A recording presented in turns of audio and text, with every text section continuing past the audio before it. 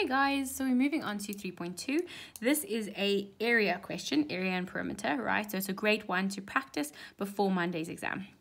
So it says Annexure E shows the floor plan of a rectangular room that Lizette wants to add to her property. The room will have a roof and a ceiling with cornices.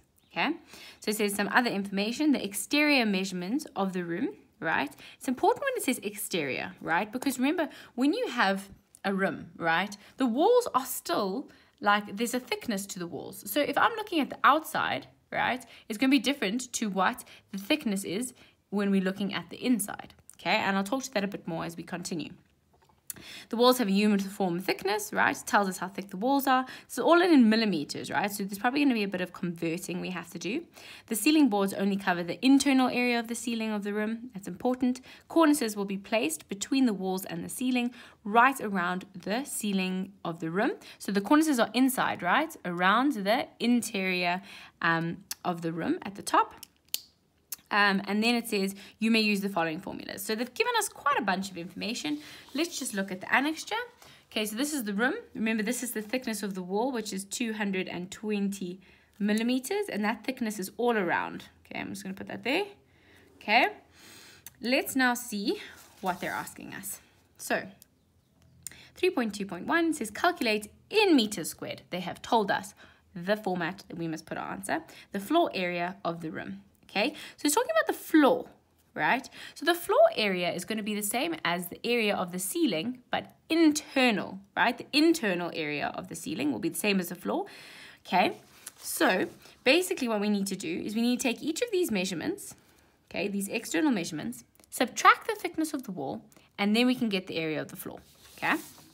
So let's just write 3.2.1 so I'm just going to talk about the length. So the exterior length, and I'm putting it like that, right, equals 5240 millimeters, right? That's the whole way across. But if we only want the interior length, we have to subtract the wall length here and the wall length here, right? So we're going to say the length interior is going to be 5240 minus 220 minus 220, okay? Put that into our calculator. Uh, not divide, minus 220 minus 220. Okay, so the interior length is going to be this. Okay, let's now look at the width. So the width for the exterior is 440. I mean 40, 40, sorry, 40, 40 millimeters. Okay, and then the width of the interior is going to be those 440 meters. But here it's going to be subtraction, subtract, we're going to have to subtract the thickness of the wall on that side and the thickness of the wall on that side. So again, we subtract the 220, two 220s from that. Okay. So that those are the internal um, length and width, right, that we need to calculate the area, okay? But it says calculate the area in meters squared. So before we calculate the area using the millimeters, let's convert both of these into meters before we use this area of the rectangle formula. So how do we convert millimeters into meters, right? So we say, okay, that's millimeters. I'm going to divide by 10 to get into centimeters. Then I divide it by 100 to get into meters. Okay, so that's 4.8 meters. Okay, your conversions between different measurements, you must be very comfortable with these, right? If you're like looking at this and you're like, Marks, I have no idea what you're saying, please go and look those up and learn them because they don't give them to you in the exam. Okay, so I'm dividing by 10 to get into centimeters, dividing by 100 to get into meters. Okay, so now we've got our length and our width. Let's use this formula they've given us, right? Area equals length times width, which equals 4.8 times 3.6. And let's see what that is. Okay. And that is 17.28 watt meters squared. If you do not put your units, guys, you will lose marks. Do not forget units. It's like the worst thing to lose marks over. Okay, so that's that first question. Let's now go on to the next question. So it says, the dimensions of each of the ceiling boards are she intends on using is this. Determine showing all calculations whether a minimum of seven ceiling boards would be needed for this room. Okay, so we're basically saying if this is the the dimensions of the ceiling boards, how many do we need to cover this um, area? Now you could be saying, but Marks, that's the area of the floor. But remember what I said. I said the area of the floor is the same as the area of the ceiling. So we actually have both in calculating that number. Okay, so I'm going to say the ceiling board, right? The ceiling board dimensions, the length is this, and the width is this. Okay, let's convert both of these into meters, right? Oh, sorry, into meters. The reason I want to convert it into meters is because then we can calculate this meter squared, right, the area of one board, and compare it to the area of the ceiling to figure out how many ceiling boards we actually need, okay? So, again, we say 2400 divided by 10 to get into centimeters, divided by 100 to get it into meters. Perfect. Let's now do the same thing for the 900 divided by 10 centimeters divided by 100 to get it into meters. Okay, so the area of a ceiling board, ooh, ceiling board, equals length times width, which equals 2.4 times 0 0.9. 2.4 times 0 0.9, which is 2.16 meters squared, right? So each ceiling board is this an area. Now let's figure out how many ceiling boards we need for the full area of the ceiling, okay?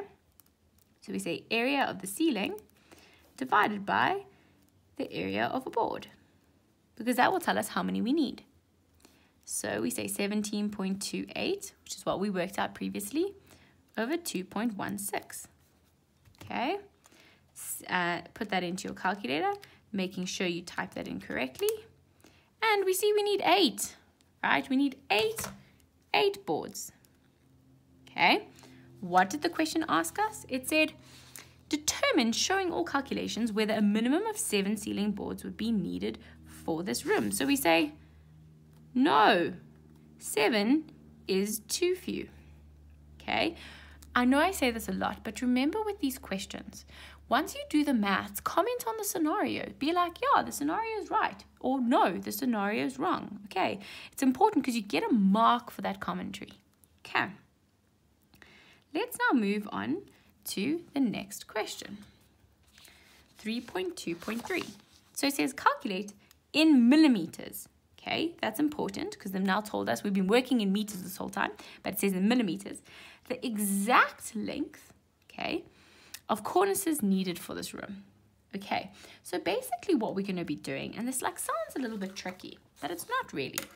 We're basically saying the cornices go around the interior, right, of the whole room. So even if there's a window or a door, remember the cornices are on the ceiling, so you need them regardless of what's on the walls, okay? So it's the interior. So what are we actually looking at here? What we're looking at is perimeter. It's perimeter of this interior um, ceiling, right? So we know that this interior ceiling, right? We know that these were the dimensions. We worked this out in the first question, didn't we? I hope I'm putting these these dimensions in right. I can't remember if I'm right. Yeah, I am right. Um, and this whole thing here is also so we're basically working out perimeter, okay? So it's important to realize what we're working out. So let's say, so we're saying the perimeter of the ceiling equals 4800 plus 4800. Remember, I'm doing keeping this in millimeters, right? Even though we converted it to meters before, they've asked us to give our answer here in millimeters. So let's indulge them and give them what they want. Okay and it is 16,800 millimeters. Okay, it's literally just perimeter. Okay, it's important to recognize what is being asked. Okay, remember here, because we're not multiplying any of the dimensions by each other, we don't put any squares or cubes or anything like that. It's literally distance, it's millimeters. Okay. Now we are moving on to our last question. Okay, it says table 5 below shows the price list of materials that can be used. Okay, so there's ceiling boards with two different lengths, but remember it says that she intended to use this version, right? So we're not actually interested about that one because she's not buying that one. She's buying this one. Okay, so they're trying to trick you here. Don't, don't fall for it, okay? Then we have the decorative molding. So this is basically the cornices, right? And we can see that they're this length and that's how much they cost, okay? So then it says determine, stay, uh, Lizette stated, um, the total cost of the materials, including VAT, right? Important, right? It tells us here that these, these prices include VAT. So it's basically we don't have to do any VAT calculations. So don't panic, right? Because they've done it for us. Would be less than 1,250. Okay, so let's calculate how much it's going to cost her. So what we need to first do is we need to say, well, how many ceiling boards is she going to buy? And how many cornice lengths is she going to buy? Well, we've already calculated that she's going to need eight ceiling boards, right? We did that over here right? So we know she needs eight ceiling boards, right? So we say 8 times by the price of one ceiling board, which is 91.44. Okay. 8 times 91.44. So that is this much. Remember to put your rand sign in. But how many cornices is she going to need, right? Well, we know that the perimeter right, that the cornices are going to have to cover is the 16,800.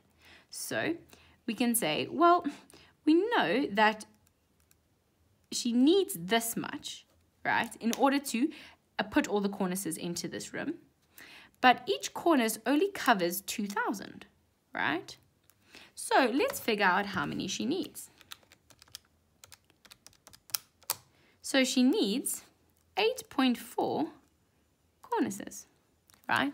But she can't buy 0.4 of a cornice, okay? So she's actually going to have to buy nine cornices. Does that make sense?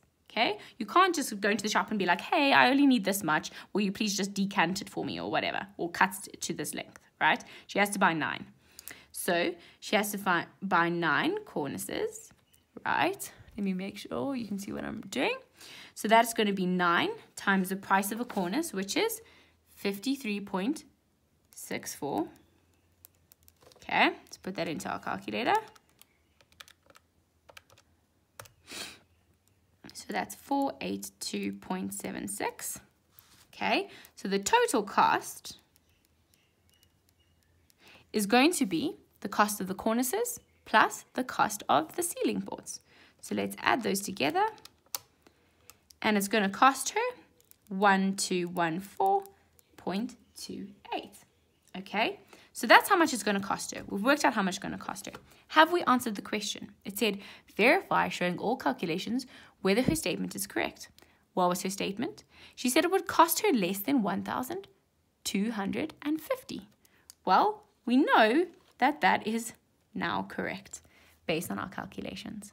Okay, so there's a really good question to practice because there's some fractions, there's a lot of converting, there's a bit of finance in there, but it's a great question. Okay, let's now move on to 3.3.